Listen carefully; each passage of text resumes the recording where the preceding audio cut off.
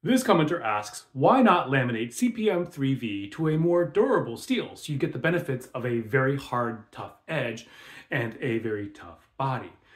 Now, lamination is basically the welding of different types of steels together, and they do them for various reasons. For example, this particular sword is based on Saka's meteor sword. You can see that there is a meteorite Damascus layer that is laminated to a harder steel to give it durability, because meteorite in itself is not very good. This particular method is known as sanmai in Japanese or sanmeihe in Mandarin, literally meaning three layers. Similarly, Japanese swords traditionally were laminated in the kobuse manner, which is where they took a soft iron core or softer steel as a center and then laminated or folded a folded steel around it, kind of like a taco. And Masamune was famous for doing a seven layer type of lamination with different types of steel. And this particular Ming sword is horsetooth lamination.